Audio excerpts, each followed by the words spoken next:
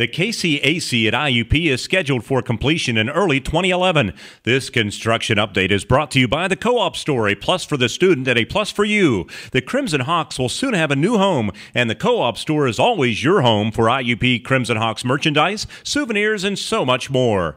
Construction continues throughout the building. All exterior brickwork is scheduled to be completed soon. The 143,000 square foot arena and convention center includes an expansive lobby with access to the main concourse level using the stairs or one of several elevators. The KCAC has space easily adaptable for conference, meeting, performance, including concerts and shows, athletic, and administrative use. The 4,000 seat arena will be the new home for IUP men's and women's basketball as well as volleyball.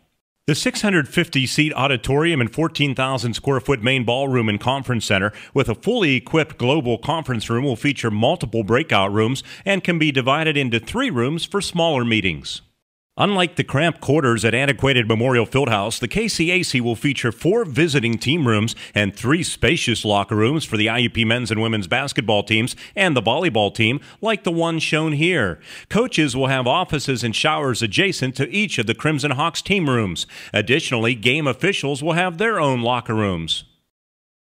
A large trainer's room and weight room will be adjacent to the three IUP team rooms to serve the training and rehab needs of all three teams that the KCAC will call home. The KCAC will also be the new home of the IUP athletic administrative offices, including 15 offices for head coaches and assistant coaches, the sports information director, assistant athletic directors, and the athletic director. Athletic director Frank Condino's office will be off of the main concourse with a view of Miller Stadium and the old Memorial Fieldhouse. The centerpiece of the KCAC will be the 4,000 seat arena. All seats will be accessed from the main concourse level on the second floor. The main concourse will also feature a special IUP Hall of Fame corridor in the south end zone.